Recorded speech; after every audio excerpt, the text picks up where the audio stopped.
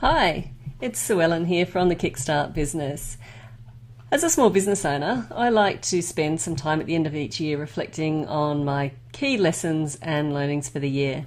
I then use this information to feed into my planning for the next year. So I thought that I'd record this short video for you with a highlight, uh, with my highlights and lessons for 2011. So let's kick off with the highlights. First of all, I made my radio debut early in the year with a slot on community radio show 99.3 FM with the lovely Nikki Springett. I stepped in for Faye Hollins uh, from Outshine Consulting, who was on maternity leave with her very first baby, and she had a baby girl, Charlie. I gave a presentation on social media at the Australian Image Consultants Association. It was really confidence building to share my knowledge with others and to see how excited they were to apply it to their own business.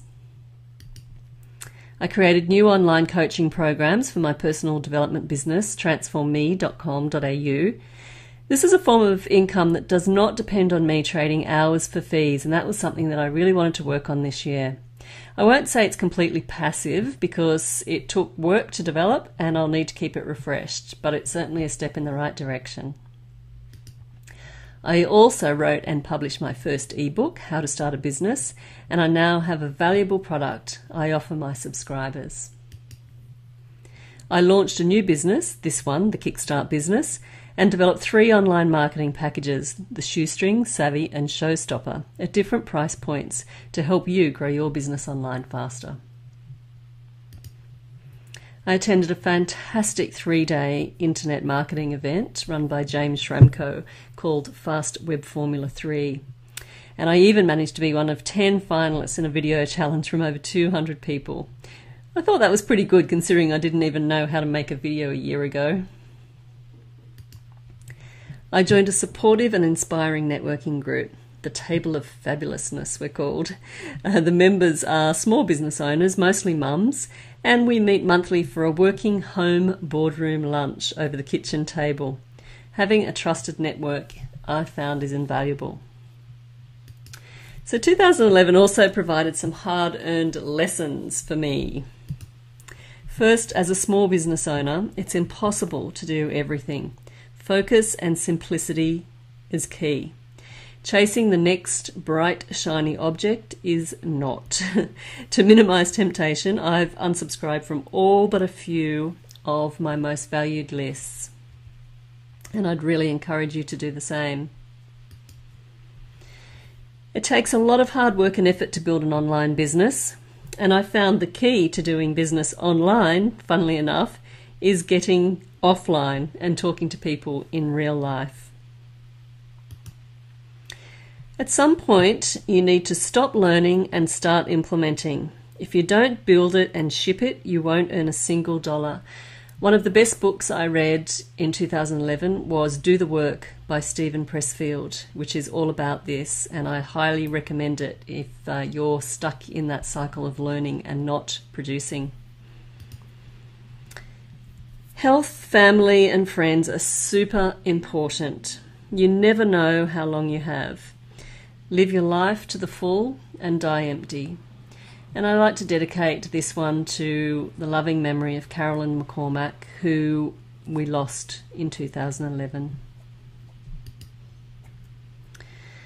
It's not possible to run a business on passion alone. I can't stand that word passion. I think it's so overused. Just because you're passionate about something doesn't mean there's a market for it. Once you know there is a market for your product or service with paying customers, then of course it helps a lot to be passionate about your business. Fail forward.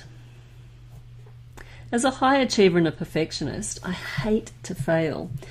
But I'm learning that failing helps us move forward when we learn the lessons and do things differently next time. And you may recognize this from a if you're a Star Wars fan, particularly, named must your fear be before banish it you can. The internet and social media are constantly changing, and it can be hard to keep up. Make use of experts to keep up to date, but most importantly, provide products and services that help people solve problems and share quality content using multiple channels. Following on from the Yoda theme, I'd like to finish up with this, which I'll be taking into 2012.